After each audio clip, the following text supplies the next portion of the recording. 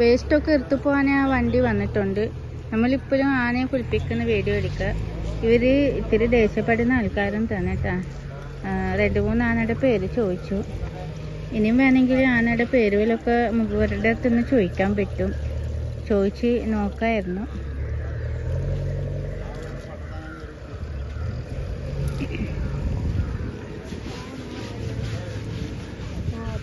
കാലിലെല്ലാം നല്ല ഉറച്ച് ഉറച്ച് ഉറച്ച് കലുകുന്നുണ്ട്.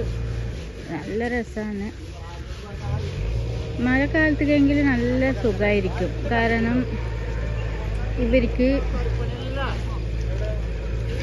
മഴക്കാലത്തേക്ക് ആനകൾക്ക് നല്ല കുളിക്കല്ലോ മഴ പെയ്യുമ്പോൾ ഇപ്പം നല്ല ഉറച്ച് കലകി വൃത്തിയാക്കുന്നുണ്ട്.